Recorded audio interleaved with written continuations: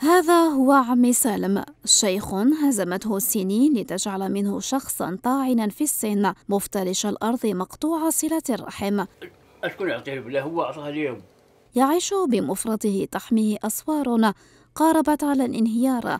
بقصر ولاد علي بولاية أضرار عندي هذه الوجهاجة محمد هاي عرفه وعندي واحد في البر. والبنات أربعة. هذا اللي في انت وعيانا وهو عنده أربعة.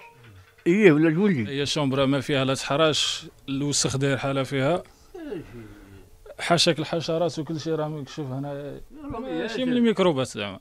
إلا يقدروا يعاونونا إن شاء الله باش نقدروا نوفروا له زعما يديو واحد المستلزمات هنايا في هذا في هذا كيما نقولوا في هذه الغرفة هذه وضع مزري قمامة في كل مكان. أواني مترامية بها أكل يقتات منها. وصاحبة المنظر القاسي فقط ثلاجة لم يتبقى بها شيء ليتحرك شباب متطوع.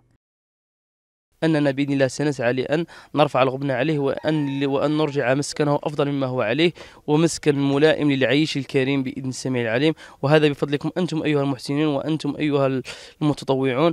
نحن نحتاج دعمكم. يطلب منه يعاونوا باش باش يحطوا معاه. ولا حتى تكون شوية صغير تلقاه يتكلم يقول لك ودي كبري شوية الماء ولا روح جيب لي شوية الماء نشرب ولا أنا حال مسكين هو عنده ماهوش إنسان مش مقطوع من الشجرة زعما ولا.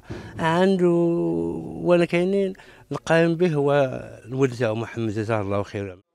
مأساة اختلفت كثيرا عن سابقاتها بطلها عمي سالم الذي تخلى عنه أبناؤه ليعيش فقرا وعسلة والأشد من ذلك وحدة قاسية افتكت البسمة من وجهها.